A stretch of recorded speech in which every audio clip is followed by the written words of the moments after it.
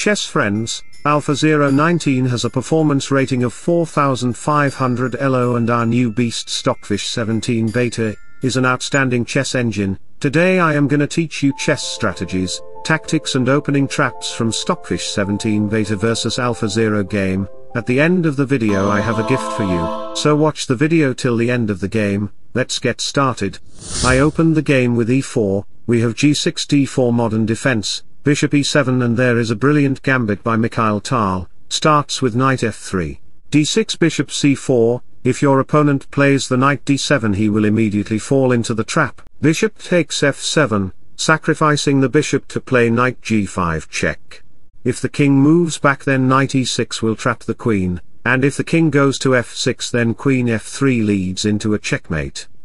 The perfect combination is not a series of moves, but an idea, Back to the position, we have knight c3 c6 knight f3 d5, white have various types of move to consider, advancing bishops or pawns for development, I played h3, white can choose the standard line of modern defense by developing the bishop and playing castle, but after a6 I could advance the pawn, but I decided to play a4 to stop black's queenside progress. Alpha played knight h6 to get the f5 outpost after I move the pawn to e5 because the f6 outpost is not suitable for black, after a series of moves you can't go for castle because queen d2 can add pressure to the knight, knight f5 and g4 will top the knight, you will lose material in just 8 moves, so in this position, Alpha played f6 to open up the f-file, aiming to launch an attack in the center, queen d2, threatening to play castle and join the rook on e-file, Knight f7 castle and rook e1 is coming. Here black refrains from capturing the pawn too soon,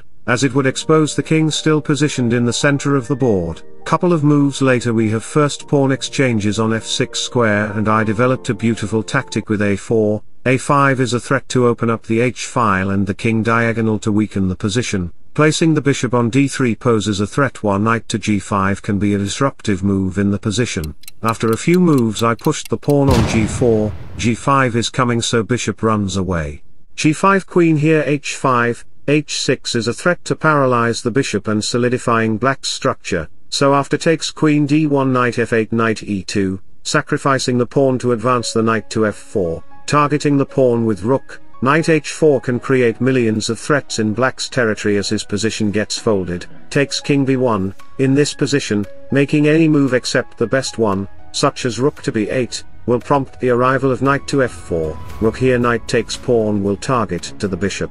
Rook here then we will sacrifice the knight on f6, takes takes and if you capture the pawn then we will play b3, repositioning the queen, to play bishop d2 discover check to the king and target the queen at the same time.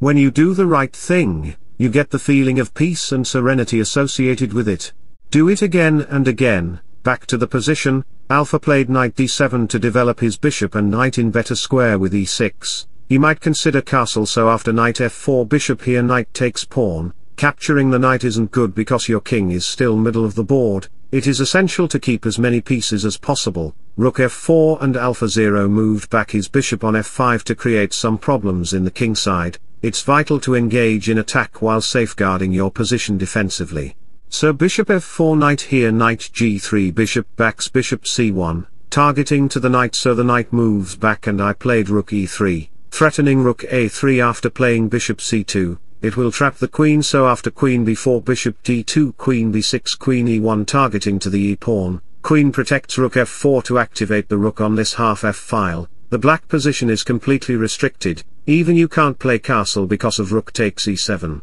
The bishop pair is significantly limited by the presence of the d4 pawn and the knights. Can you remember, I moved the knight to to g3 square long time ago and now it's creating vital problems in black's important squares, it is called chess strategy, I would consider bishop h3 to seize the diagonal as well, rook h8 bishop h3 knight comes and after couple of moves later we have rook b6 to target the pawn, but I ignored it and played knight f5, alpha takes the pawn, king a1 and I am threatening the bishop.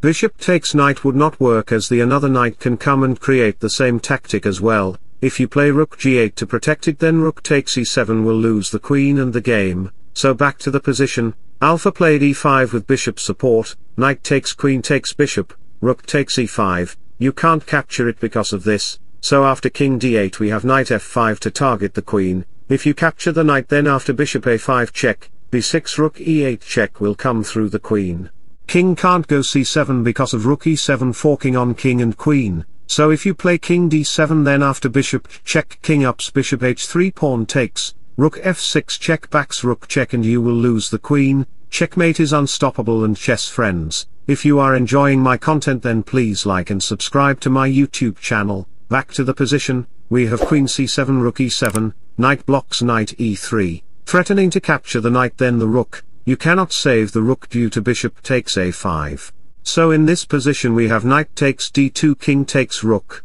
knight c4 check can't possible because after takes takes rook takes d7 will lose your queen.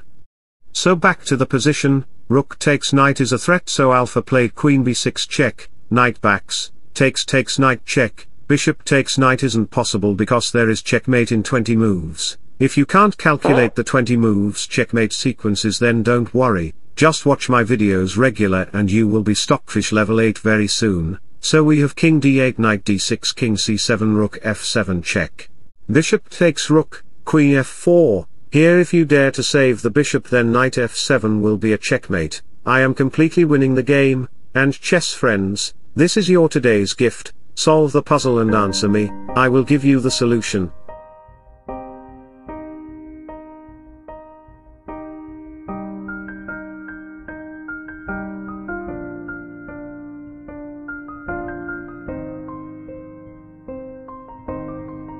So wish you all the best. Thanks for watching. Subscribe for more. Bye bye. Take care. See you soon.